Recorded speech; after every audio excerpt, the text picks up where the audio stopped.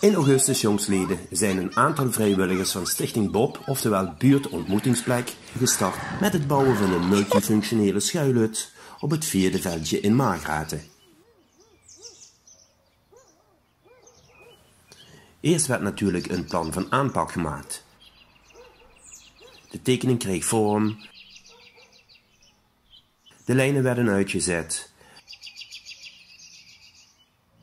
er werden gleuven gegraven,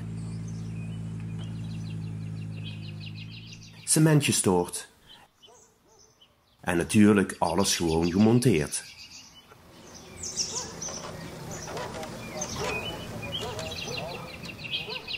We zijn hier, zoals het heet, uh, op de buurtontmoetingsplek De Hoven in Margraten. In de volksmond het vierde veldje genoemd. Het was vroeger een oude trainingsveld van de voetbalclub. Dat kwam vrij en de gemeente zei, nou bewoners, als jullie iets moois willen maken, dan, uh, dan kan dat.